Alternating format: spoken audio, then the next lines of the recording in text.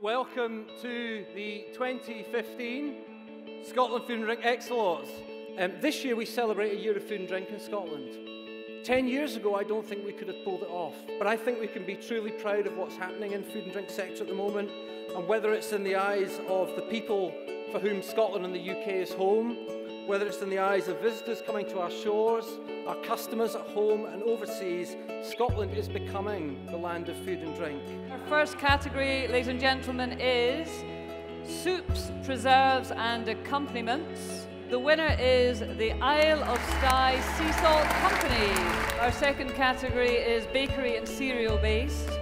The winner is Golspie Mill.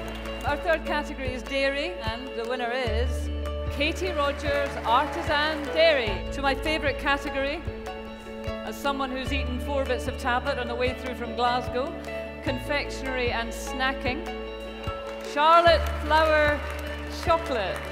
And our fifth category is non-alcoholic drink. The winner is AG Barr PLC.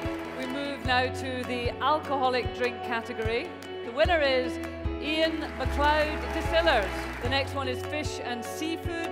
The winner, ladies and gentlemen, is the Argyll Smokery. From fish to meat, the meat category is so our winner is Helam Farm Produce.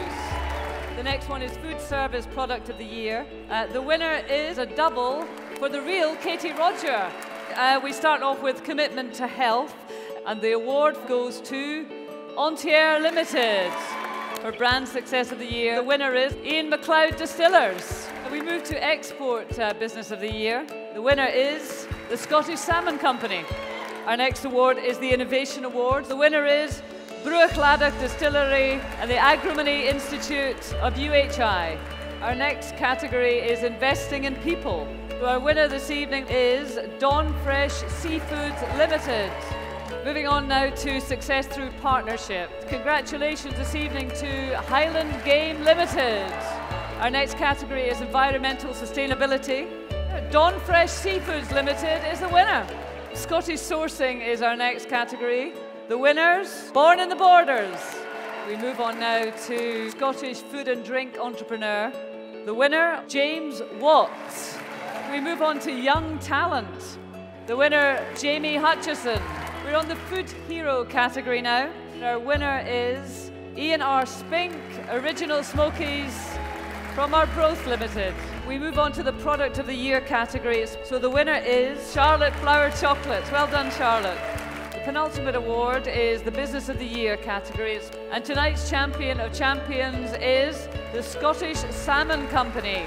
And ladies and gentlemen, we do come now to the final award of the evening. It is for the outstanding contribution uh, to food and drink. It gives me the greatest pleasure to announce that 2015's Outstanding Contribution to Food and Drink Award winners are James and Joe Macsween.